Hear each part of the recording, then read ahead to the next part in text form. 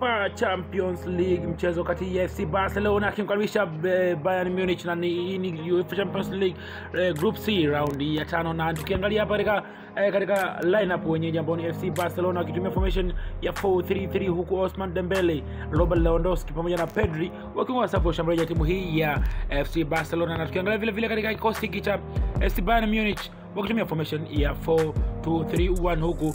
Moting akiongoza safu ya ushambuliaji ya timu hii ya eh, Bayern Munich. Na tukiangalia vile vile katika msimamo hapa eh, ambaye amekwisha fuzu sasa hivi ni FC Bayern Munich akifuatiwa na International Milan, na tukiangalia vile vile basi wanashika nafasi ya tatu kwa kucheza michezo mitano na kuvuna alama tano. Thanks for watching and have a good day. This is UEFA Champions League.